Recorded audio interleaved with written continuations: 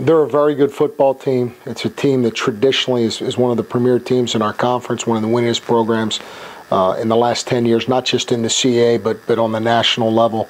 Um, so we're going to have to play a very good football game to win. Uh, we have a lot to play for. We're losing 12 great, great people, great players in, in, this year's senior class. And the other thing I challenged the team with was, you know, reestablishing a home field advantage moving forward.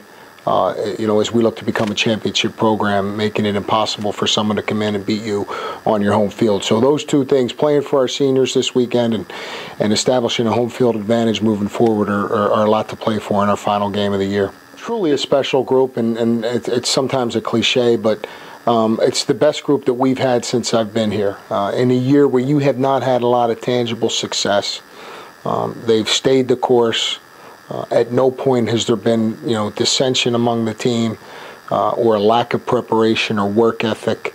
Um, this has been an extremely focused group, and and um, they'll have my loyalty forever because you know uh, they're the old saying characters revealed you know in the hard times and and, and this was a challenging year for, for everybody involved but this is a group that um, they showed their true colors and they stayed the course and they showed tremendous character amid all the adversity that we had this year and uh, you know for, for that I'll always be grateful for this group.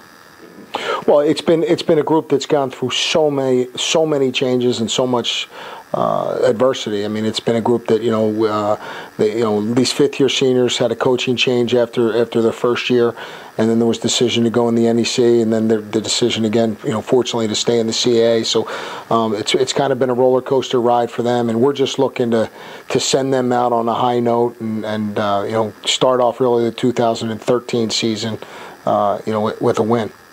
Wacky kitty, wacky kitty, and yeah.